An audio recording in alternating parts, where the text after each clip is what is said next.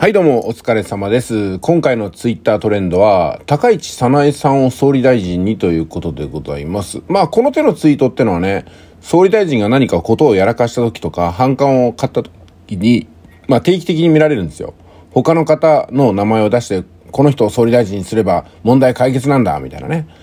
いや、そうも甘くはないものだとは思いますが、ただね、やっぱりこう、今の総理を追い落として自分が総理の座に座るんだっていうふうな意欲に乗っかって私たち国民が別の方法論をこうね、論じていく場所はやっぱ作っていきたいなと思います。まずね、このツイッターからなんですけども、えっ、ー、と、この高市早苗さんの発言ちょっと見てみましょうか。普段は出席の声がかかる一昨日の政府与党連絡会議には私も西村経済産業大臣も呼ばれませんでした。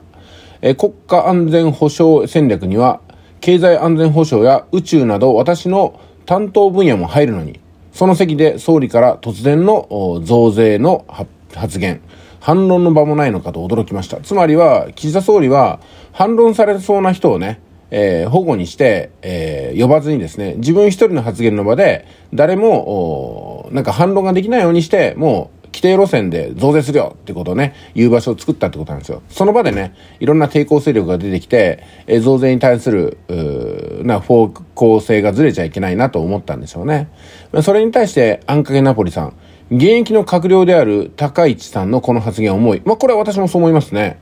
うん、ここまで言わせてしまう岸田総理の政権運営能力の限界が感じてしまうということで、多分ね、岸田総理は、あの、広島サミットが今度来年の5月でしたっけ？あると思いますけども、それを最後にやめて、総辞職にするんじゃないですか？なんか、もう一回選挙するんじゃないですかね？まあ、そのぐらいのつもりで、えとにかく最後に財務省に気に入られる実績をバンバンバンバン作っていこうって腹なんだと思います。まあ、その後はね、もう、山あり谷ありですよ。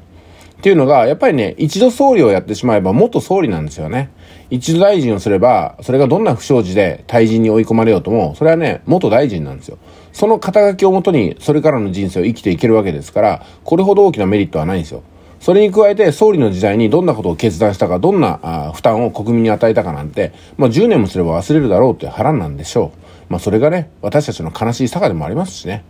じゃあ次です。まあ有名な闇の熊さんの発信です。増税反対で自民党が固まり始めた。そうそう、自民党もね、増税反対論者が増えてきて、これは多分ね、西田昌司さんの力が大きいんじゃないかなと。それから、あの、青山春彦さんですよね。この辺がパワーになってるんじゃないかなと思います。当然、高市早苗さんもですけどね。で、これがトリガーになって、与党内で、えー、高市人気が高まってほしい。多分、闇の雲さんも高市早苗さん、女性最初の総理大臣、うん、期待してるんだと思います。国民からの支持率は十分にあると。あとは自民党議員からの支持さえあれば高市さん総理になれると。高市総裁なら、あ選挙を勝って状況を作り出そうということですね。あの、まあ、実際になってみないとわからない。総理になってみたらね、あの、総理になってない時と比べて別の風が吹き始めるところで、立場上しょうがないことも言わなければならないですし、立場上しょうがないことも決断しなきゃならないってことも込みで申し上げますけども、私は前回から高市早苗さんの総理が、最も今のこの国には、うん、適してるんじゃないかなと思いますよね。まあ、岸田総理もね、その次ぐらいにいけるんじゃないかなと思いました。というのが私、広島でずっと、この岸田総理のことを見ていたからなんですよね。岸田総理が本当に地元で、えー、土佐回りをしている時の同じ気持ちで総理になってくれたらどんなにいいだろうかと思いましたけども、立場が変われば、見るところも違えば、かけられる声も違うでしょう。ね、岸田総理ね。私たちが岸田総理に訴えかけてた言葉はもう耳に届かないですよね。今は別の人の声が耳に届いてるんではなかろうかと思います。まあその辺はね、もう立場があれば、あの、飴とムチみたいな感じで、今度は岸田総理が使われの身になってるってことなんでしょうね。はい、次です。えっ、ー、と、常年つかさん。私も YouTube チャンネル登録してよく見てるんですけども、常年つかさん。常年つかさん。ね、ニュースの虎川、ガオー。仕組まれていたのか、高市さん頑張ってください。まあ、常年つかさんのね、こう、かん、お考えっていうのも、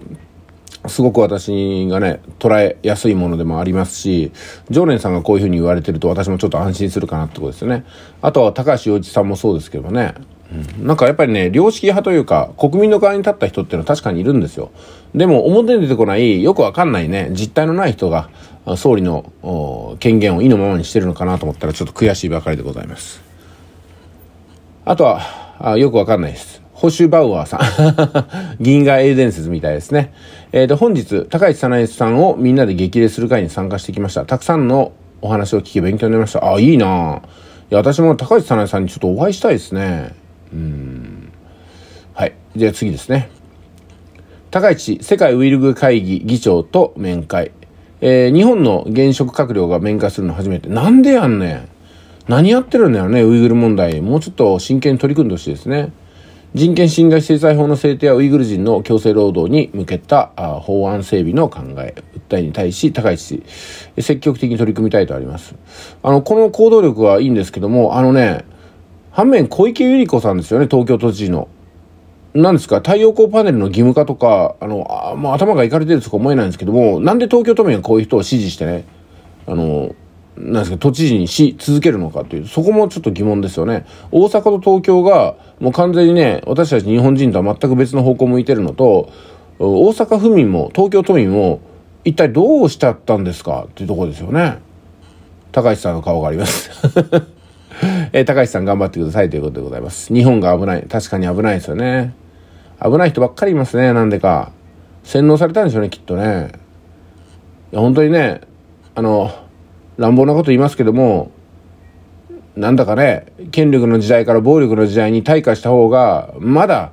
平和な日本が作れるんじゃないかとすら思ってしまうぐらい、現在の権力の使い方っていうのは暴力的でね、多くの人を無言のうちに死に至らしめてると思いますよ。なんで私たちはこんなに貧しいんでしょうかそれは権力が使う方向を間違ってるからだと思いませんか？